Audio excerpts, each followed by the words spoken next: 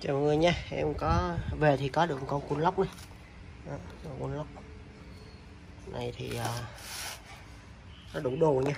Thì em có mồi sang thử uh, xem thử mấy uh, cái nổ nha. Sống chết rồi.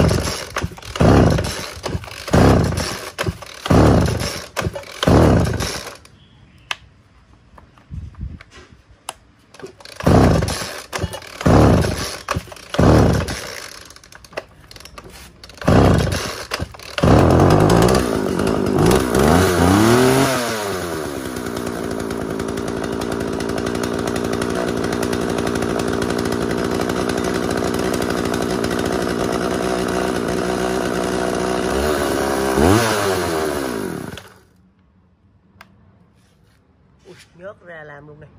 Ui má. Mấy này chưa dọn nha mọi người. Nhớt, nhớt ra làm luôn. Lóc.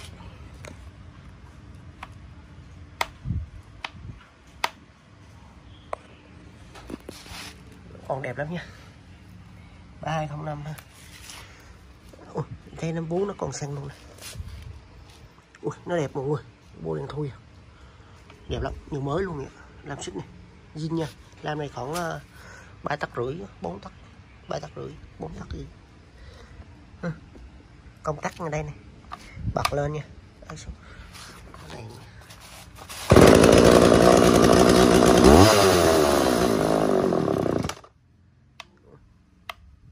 này về chắc ờ, vệ sinh rồi kiểm tra lại đường ống xăng rồi chắc nó nổ luôn á mọi người đó, lửa có nha mấy màu xanh nổ lóc đẹp.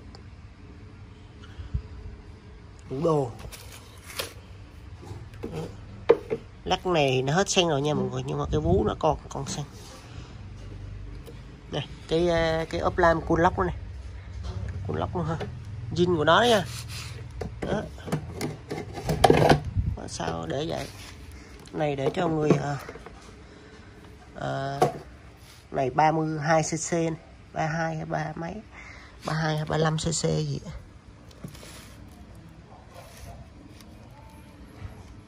ừ, không thấy nó để thông số. Này của lóc Mỹ. Rồi, các gia đình rồi rất là ngon nha. Này để cho ờ, à, 900 nghìn nha. Này để cho 900 nghìn nha. Ừ, máy này mồi xăng nổ đủ đồ nha. Ok làm thì chốt nha. Ờ, chín trăm rưỡi nha không bao ship.